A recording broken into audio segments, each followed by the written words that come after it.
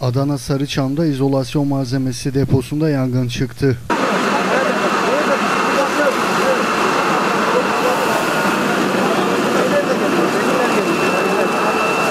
D100 Karayolu Cihadiye Mahallesi'nde bulunan izolasyon malzemesi deposunda henüz belirlenemeyen nedenle yangın çıktı.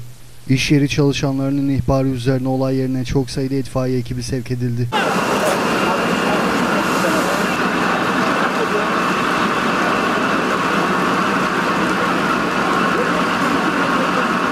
Kimyasal maddelerin tutuşmasıyla yangın kısa sürede büyüdü. Büyükşehir Belediyesi ve Adana Hacı Sabancı Organize Sanayi Bölgesi'ne bağlı itfaiye ekipleri yangına müdahale etti. Yangın itfaiye ekiplerinin çalışmasıyla kontrol altına alındı.